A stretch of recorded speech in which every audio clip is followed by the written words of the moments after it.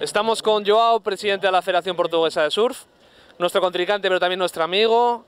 ¿Cómo estás viendo el campeonato, Joao? Está corriendo muy bien, pero que está, esperábamos condiciones peores y que corrió muy, muy bien. Los, los, atletas están todos en prueba, que bueno también para nosotros. Y creo que está, está haciendo una fiesta con todo, toda la gente aquí. El equipo portugués es bastante fuerte, como se veía venir, ¿no?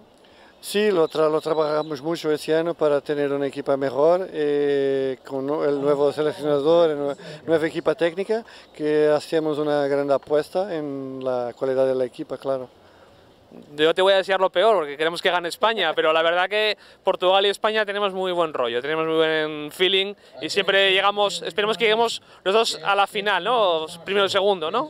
Sí, claro, como el año pasado que usted casi que tuvieron el primero, que para nosotros era lo favorito, y eh, fue una pena, nosotros acabamos en tercero, pero que ese año espero que los dos se queden en primero y segundo. Portugal en primero, claro.